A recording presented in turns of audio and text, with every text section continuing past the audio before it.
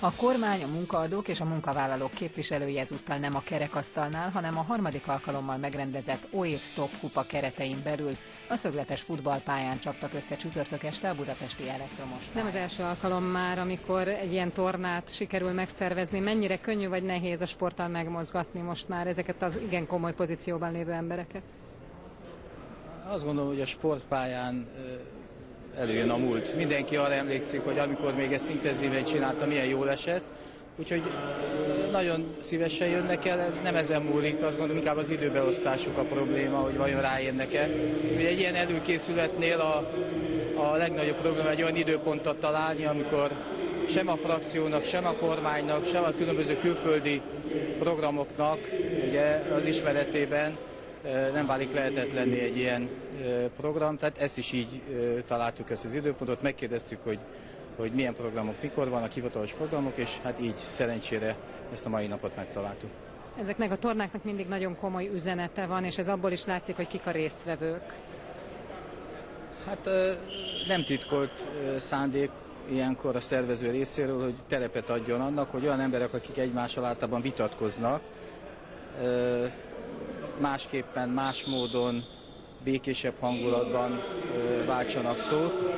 Most azt gondolom, hogy ez az OET is az bizonyítja, hogy azok az emberek, akik általában az érdekegyeztetés folyamatában mindig vitatkoznak egymással, ellenvéleményük van, hát itt a pályán és sportszerű keretek között, de jó hangulatban tudják folytatni. A főszervező megengedheti-e magának, hogy valamelyik csapatnak drukkoljon? Hát én volt, hogy a munkaadóknál játszottam, de most már a létszám olyan mértékben növekedett, hogy csak zavarnám a csapatot. Én ott, amikor játszottam, akkor a munkaadók között kaptam helyet. A munkaadók csapatának kapusa ezúttal Hüveli István volt, aki a bemelegítés közben elhangzott esélylatolgatásról számol be nekünk.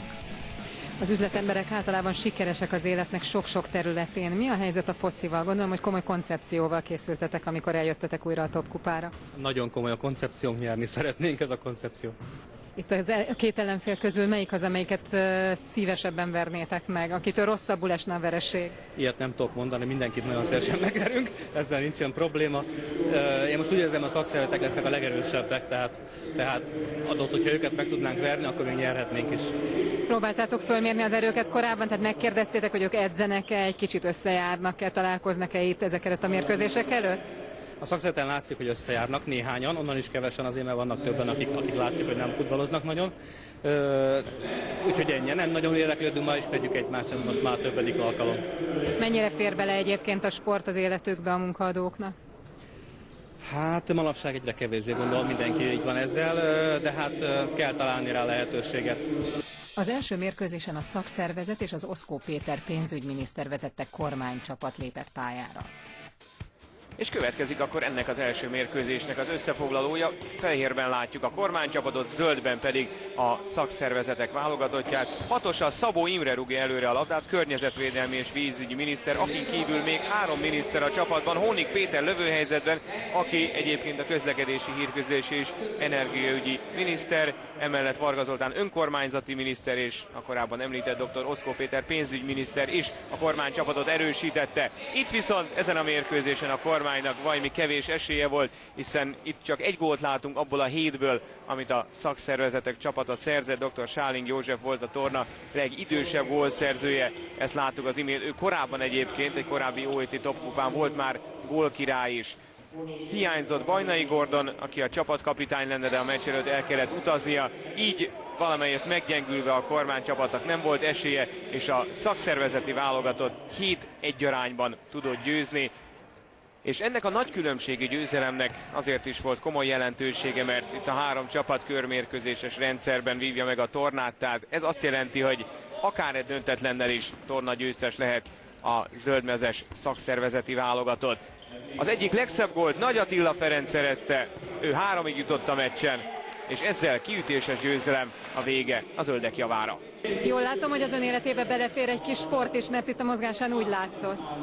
Hát, hogyha egy fél évvel ezelőtt látták volna a játékot, azért sokkal jobban ment akkor az egész kormánycsapatnak, akkor még hoztuk az erőlétet magunk, magunkkal az előző civil életünkből. Most már látszik a kormányzati munka, most már sokkal lassabb volt a mozgás, sokkal kimértebb a játék, és és, és kevesebb a játékrutin egymás között. De valóban, ha, ha tudok időt szorítani rá, a focira most nem is nagyon jut idő fallabdázni, azért szoktam legalább havonta egyszer. Akkor nagyon jó, hogyha van egy-két ilyen rendezvény, mert ez rákényszeríti az embert arra, hogy mozogjon, még akkor is, hogyha nagyon sok dolga van. Mindenképpen, de azért bízom benne, hogy ha már nem leszek miniszter, akkor újra lesz több időm mozogni. De egyébként is jó, mert azt gondolom, hogy fontos egymást látni tárgyalasztalon kívül is olyan emberekkel, akikkel egyébként kemény vitákat, kemény harcokat vívunk a napközbeni hivatali munkába. Fontos, hogy tudjuk úgy egy embernek tekinteni egymást, hogy a sportpályán is megismerkedjünk, játszunk egymással. És van valami, amit már itt el lehet intézni, vagy meg lehet beszélni, vagy esetleg elő lehet készíteni? Nem igazán, ez a játék ez nem erről szól, ez tényleg arról szól, hogy megmutassuk a fővilágnak is, hogy egymással kemény harcot vívó emberek civilizált módon tudnak egymással más tevékenységet is folytatni. A tárgyalóasztalnak hagyjuk meg a vitákat egyébként, az nem itt a pályán dől el. A zöldek maradtak a pályán, míg a kormánycsapata pihent, a szakszervezetek képviselői kicsit talán fáradtan, de igen lelkesen, és a hosszú kispadnak köszönhetően eredményesen vették fel a harcot a munkaadók képviselőivel.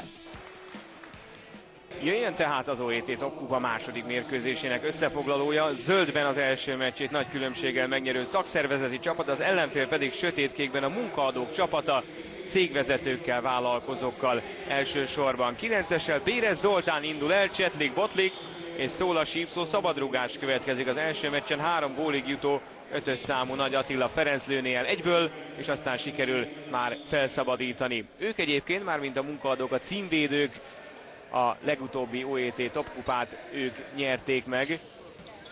És most, amennyiben a zöldek nyernek, akkor az utolsó mecstől függetlenül ők már bajnoknak mondhatják magukat. Bérez Zoltán állítja el a labdát. Nagyon sokáig nem volt gól egyébként ezen a meccsen. Aztán egy remek szóló, Nagy László, a Kunság ZRT vezérigazgatója tette tovább a labdát. Molnár Zsolt egy kétsel, de aztán nem marad már ideje, vagy helye a lövésre. Itt már 2-0 arányban vezet a szakszervezeti csapat, de jön a szépítő gól, az imént említett Nagy László, bár Szezben utazik, de nem lehet még örömítas, hiszen egyelőre 2-1 mindössze az állás. Itt pedig a végén már csak tartani kellett az eredményt a zöldeknek ahhoz, hogy megnyerjék a harmadik OET topkupát, és ezt meg is tették helyenként látványos játékkal. Talán az ő kispadjuk is volt a leghosszabb, tehát jobban is bírták erővel, mint a többi csapat. Sőt, még egy harmadik gólt is sikerült odavigyezteni. Hegyi István alakítja ki a 3-1-es végeredményt. Torna győztes a szakszervezeti csapat.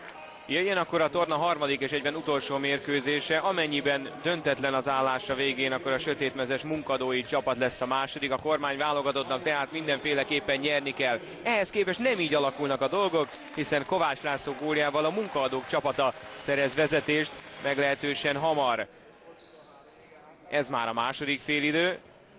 Egy rossz szöglet után Molnár Zsolt indul meg, ketten-hárman jönnek, és Nagy László végül befejezi, a második gólja már a munkaadók csapatában. 2-0 ezzel. Nagyon úgy tűnik, hogy a kormánycsapat meg kell, hogy elégedje majd a harmadik helyjel. Oszkó Péter pénzügyminiszter veszi kézbe az irányítást és a labdát. Tökéletes volt a bedobás. Miniszter adja a gólpaszt a miniszternek, hiszen a befejező ember Varga Zoltán önkormányzati miniszter, és ezzel közelebb férkőzik valamelyest az Oszkó Péter vezette kormányválogatott. Garamhegyi Ábel dobja ki a labdát.